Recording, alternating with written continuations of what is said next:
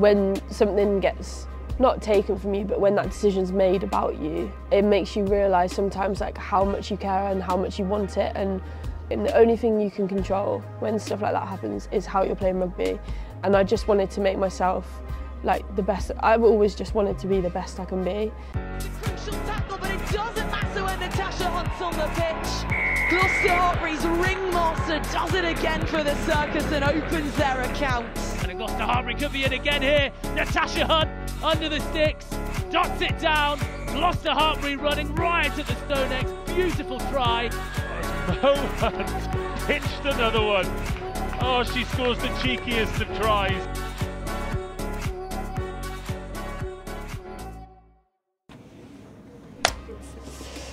Yeah, it's been a roller coaster. I think everyone that plays elite sport, anyone that plays any kind of professional sport, and to be fair, anyone in life um, goes through those ups and downs. Um, it never like it never crossed my mind that that summer would pan out the way that it did. To be honest with you, um, I felt like I was in decent form. I was doing all right in training, all of that sort of stuff, and never kind of had the inkling that what I was doing wasn't quite enough. At that time, they'd already had a cut in the squad. It was only going to be four of us missing out. Yeah, it was tough. Like my phone started ringing, so we knew that it was going to come between I think it was 6:30 and 7. I obviously answered the call, and um, he just said, "Yeah, it's not it's not the news that you're hoping for."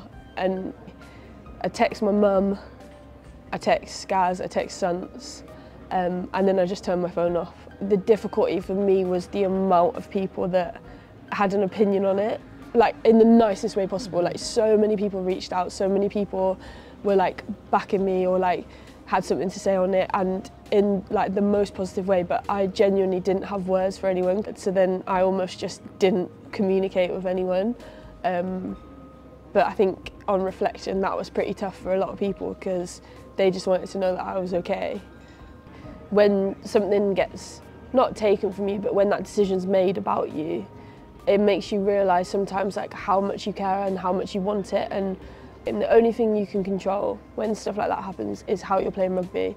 And I just wanted to make myself like the best I've always just wanted to be the best I can be. Lenny our coach has been brilliant in terms of like how he's dealt with me through this whole time and chucked me straight back into club which is exactly what I needed.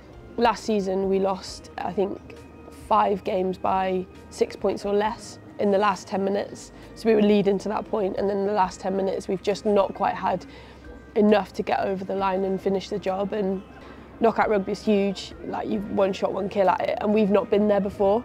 But I almost think that's exciting because we don't know what the pressure is. We don't need to put pressure on ourselves. What we've done all season is good enough. The leadership stuff I, I love, like I really enjoy just trying to get the best out of everyone. That's how I see leadership is how you like empower everyone else around you to be the best.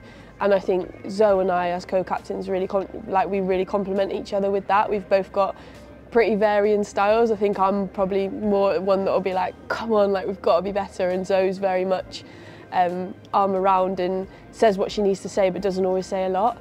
Kingsholm is a privilege for us. Obviously, we play a lot of rugby at the Alpas. Whenever we get the opportunity to run out there, to be in that changing room, we love it. We absolutely relish it. I think for me, one of my long-term goals is to be playing rugby there in front of a packed-out shed. Like I want to experience the shed heads, which we haven't yet. Um, I understand that it's a hostile environment, but I think for a lot of us that raises our game. I know especially myself and Zoe, we love those environments. We we like live and breathe it. When we go and play France away, for example, I probably play my better rugby because you're up against it. And yeah, I think um, it'll be amazing to be there in front of a, a pretty full stadium and we're just calling all fans to get down because we want to we want to show you what we're about. Like we've worked so hard all season for this combination and if we get there for the if we're there for the home semi then come on, come on down. The way that the game has gone and the trajectory that it's gone at is actually a little bit mind-blowing. So even when we played at Kingsholm, that for me was like tear-jerk moment, just unbelievable that that amount of people are there. Obviously it was very well pitched, like England-Wales on the border, pretty much a home game for half of the Welsh mm. squad.